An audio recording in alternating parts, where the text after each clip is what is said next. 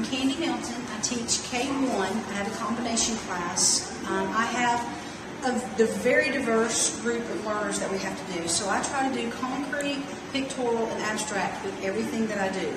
One of the stories that we did was Brown Bear, Brown Bear, and we had spent this as our literacy group, and we, we moved that over to do our math as well. So what we did first for the concrete was each of the students had to use their unit cubes, their unit linking blocks, and we laid them out on the graph.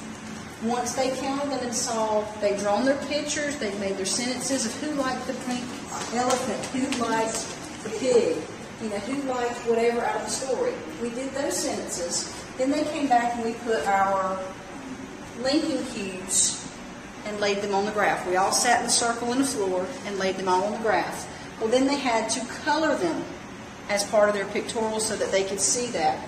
Then we took that activity, all of this together, took it back into our writing journals, and they had to copy the information off of the charts into their writing journals. And that's what I did for the concrete, pictorial, and abstract for Brown Bear, Brown Bear.